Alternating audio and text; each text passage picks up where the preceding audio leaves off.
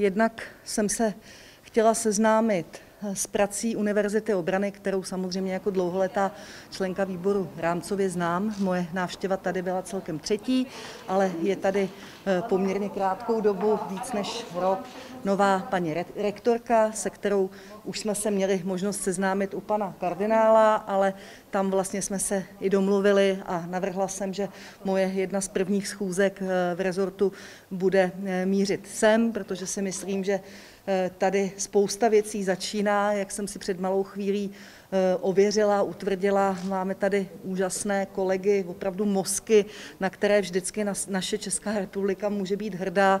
A v těch podmínkách, v jakých vlastně oni vytvářejí některé eh, věci, které budou prospěšné nejenom pro naší armádu, ale i pro jiné armády v rámci Severoatlantické aliance, tak eh, ty projekty jsou opravdu skvělé. Dostala jsem avízo, eh, že vlastně eh, tady teď se paní rektorce podařilo zatraktivnit i některé studijní obory a má skutečně obrovský zájem o to, aby lidé tady na té univerzitě mohli a chtěli, chtěli a mohli studovat. Takže tohle určitě jako ministrině obrany chci podporovat.